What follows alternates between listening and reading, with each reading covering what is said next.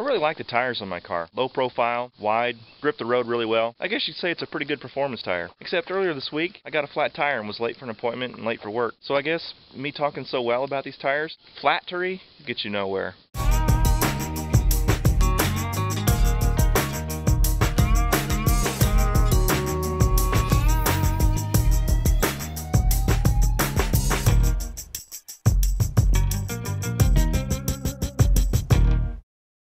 Well, life happens, and it happened to me earlier this week on my way to work in the dark in the morning. Flat tire on the side of the road, just what everybody wants to do first thing in the morning. Well, my Camaro needs a new set of tires. The these these tires here are getting kind of bald, but I currently don't have enough money to buy a new set of tires. So I'm going to do my best to repair this one.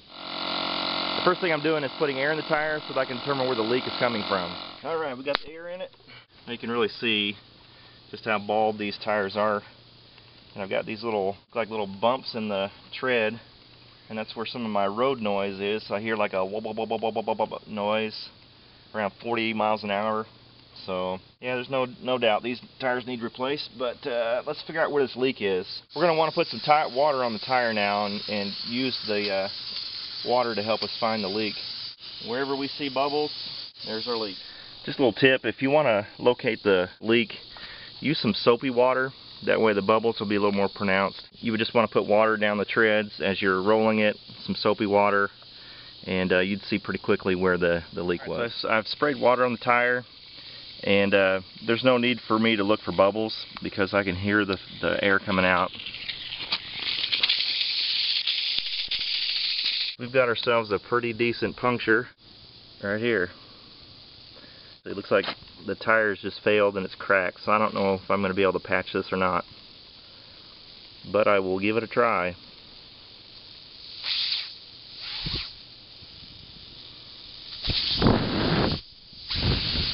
Alright, so this is what I got to to plug the tire. I've got these tire plugs I got from Walmart, probably six to eight bucks. I can't remember how much I paid for it. I bought a tire plug kit a while back. Again, I don't remember how much I paid for it, but it gives you two different types of tools you'll need. And then you'll need some sort of uh, cement. Uh, you can buy the tire plug cement. I don't have any, but I do have rubber cement. Should do okay. Okay, the first thing I'm going to do is take this rasping tool and I'm going to go down inside this crack or this puncture here and rasp that out nice and clean and smooth. Be prepared for a lot of air to come out.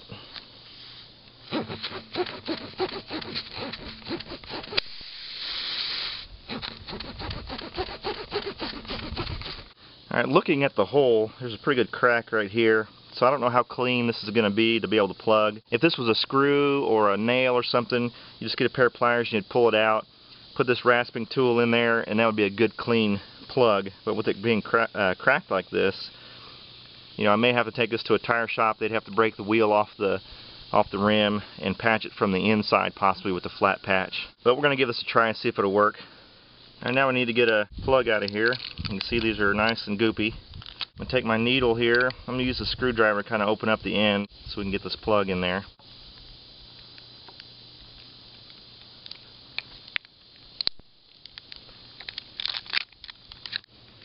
Alright, this is where the rubber cement comes in.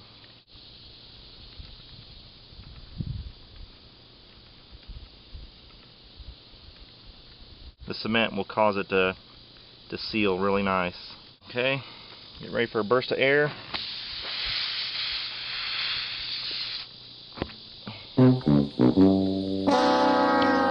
Doggone it, I pushed this plug all the way down in there. oh, shoot. Fail. Don't push the plug all the way down in there like that, like I just did. Can't believe I did that. Now that I've shoved it all the way down in there, I don't know what I'm going to do with it. Maybe I'll push it all the way down in and start over. Okay, just take your needle.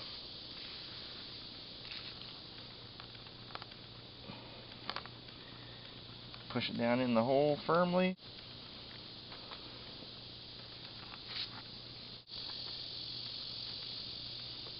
Okay, I'll let that set up for a little bit, and then I'll take some clippers and we'll clip off the excess. And I'm just going to clip off just a little bit of this end here.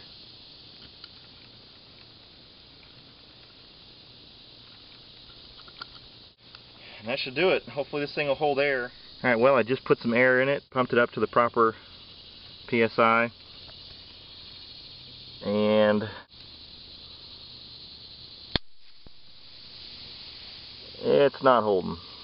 So I guess I'm going to have to take this into a proper tire shop and have them plug it from the inside. Because the, the crack in the tire was worse than I thought. So a simple plug's not going to do the trick. But if you had a, a simple, you know, a screw or, or a nail or something in it, uh, this would do the trick. I've done this a hundred times on my tires over the years. Anyway, that's how you attempt to plug a punctured tire. Hopefully this video was helpful to you. wasn't necessarily helpful for me, but uh, thanks for watching and God bless.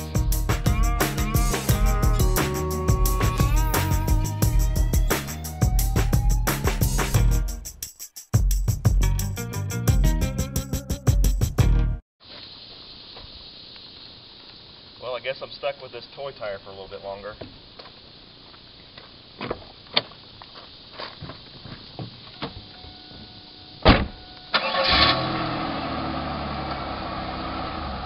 Hey.